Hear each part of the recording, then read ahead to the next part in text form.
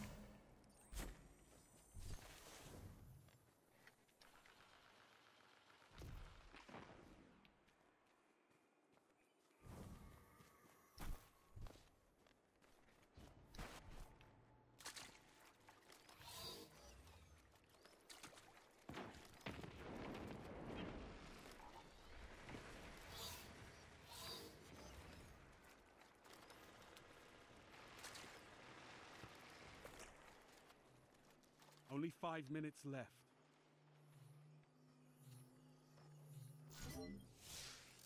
Yes.